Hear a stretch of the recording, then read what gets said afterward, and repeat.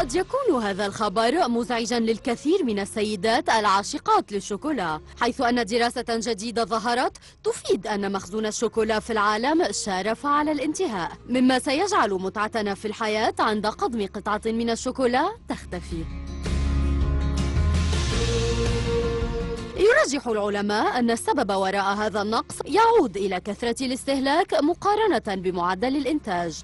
ولذا سيدتي ابدأي بجمع ذخيرة من أنواع الشوكولا المفضلة لديك كي لا تعيشي في تعاسة مزمنة عند انقراضها.